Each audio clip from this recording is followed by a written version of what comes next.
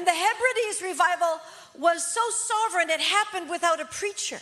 Yes, preachers came up into it and through it and began, you know, preaching it. But it happened. When it happened, it was like the cloud of glory came down over a whole region. And if you read about that Hebrides revival, there would be people driving in their horse and buggies, feel a conviction of sin. They'd have to stop their horses. They would get down on the side of the road on their knees in the mud and begin repenting and then run to churches. It wasn't one building that was filled, it was all the buildings around, all the churches were filled. Because, and then preachers rose up because they, people were there and they said, What do we do to get saved? And they would tell them what to do. And Duncan Campbell arose as a, as a spokesperson for that. But I believe that we are moving into these atmospheric times.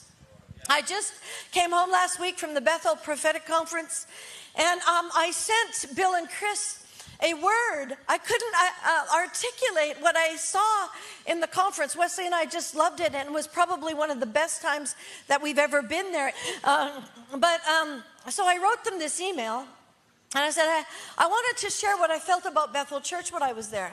It took me a while to figure out exactly what I was sensing, but the atmosphere was filled with creativity. Like the manifestation of the Creator was there. I would compare it to tangibly seeing gold dust in the atmosphere like a glory cloud, only it was as though there were creativity bubbles. It was like they were in the atmosphere, ready to drop on somebody. I felt like the Lord said that because you have stewarded his presence in worship so well for so long, as have Rick and Lori, you know, that everybody's going to have different things. Uh, all 12 tribes had different anointings, and we might have some of that too, but, but um, that you have stewarded his presence in worship for so well for so long. He was rewarding you with creative revolution, revelation to change society. People will be in the middle of worship and get downloads about how to solve problems, invent inventions, forerun technology that hasn't been created yet, stuff like that. And I felt because you allowed, first of all, in the house, you know, all kinds of creativity to flourish worship, dance, artists, painters, songwriters, film, etc. The next phase of Bethel is to take the creativity of the Creator to solve world problems. I've never seen those create creativity bubbles anywhere in the world before.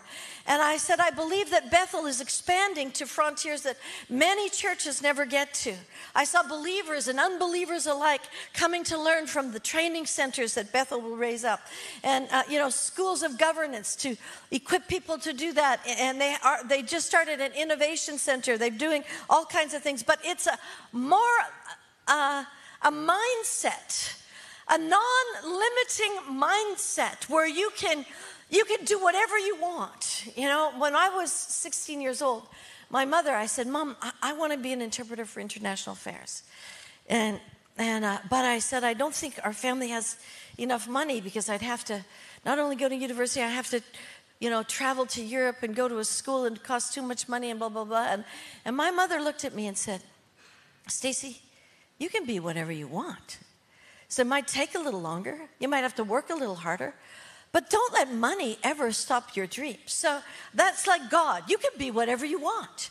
And, you know, we have a testimony. So I was sharing with this couple, Lorraine, if you just want to quickly come here, um, uh, uh, this, what I saw in Bethel about these creativity bubbles. And she said, That happened to me in Bethel.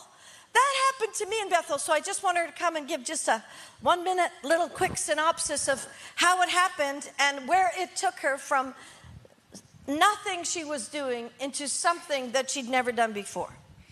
Yes, this is a. It was at a Bethel um, workshop for our writers, and that morning I had gotten a contract with Chosen Books to write a book, a prayer directive on how to pray over the Middle East. It's called Love in the Face of ISIS and two film directors were speaking that evening about filmmaking. And there was actually, they were speaking to this side of the audience, and I was over there, and they're saying, you know, what God's going to do for you tonight is going to be something that's going to advance your career five years into the future. And I'm just like, well, God bless that person. I have no interest uh-huh. whatsoever in screenwriting.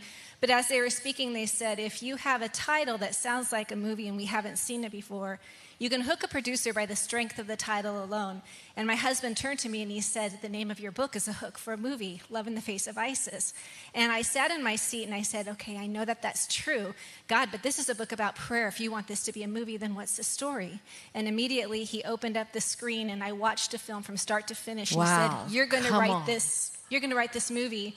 And he gave me the whole framework. But the point of this is, is that what Stacey is saying, Bethel creates a place and an atmosphere of worship. And we had just come out of an amazing worship time, even in that conference. And so the glory was still hovering for me to just say yes to the Lord. And so I did write that screenplay, it got picked up. Um, and then God took us out of obscurity into a place now where we're pastors to the entertainment industry. We've been on two movie sets already as a prayer team, which is unheard of in the industry, to have two people be on set every day praying over the films and over the cast and the crew. So Amen. Amen. Amen. Thank you. See, so she began to do something she's never done before. But we had this one lady that she had four kids. And she had a dream about fashion. Her name is Nancy Vu. She had a dream. She had never done fashion in her life. She got pictures. She began to draw them. She has now become a fashion designer that's doing uh, runways for in New York. The, the Medici family in Italy is talking to her. She's just like, and out of nothing. And this is might happen to you. You know, this might happen to you that God will call you. And, and this atmospheric shift that Paul Cain saw, uh, he said this that, uh, that uh, it, it it, it, was so big that, uh, and, and, Rick and I were there for a, a, meal and Wesley and Lori. When Paul Cain was talking about it, he said, It wasn't a planned event.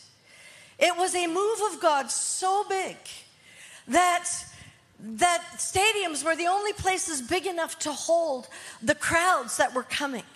It wasn't a planned event like the call or the send, which are awesome. And I have personally put on calls in multiple nations of the earth with you know 10,000 people, 15,000 people, and many, many, and over and over again. And I love those things. But, but what Paul Cain saw was bigger than that sovereign, powerful. And I, I, believe that God wants to take our eyes up and fix them firmly on Him and begin to contend for those kinds of moves that are so big.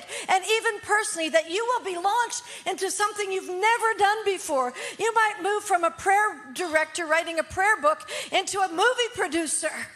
Into pastoring film artists because God wants to take you exceedingly above what you can ask or even think.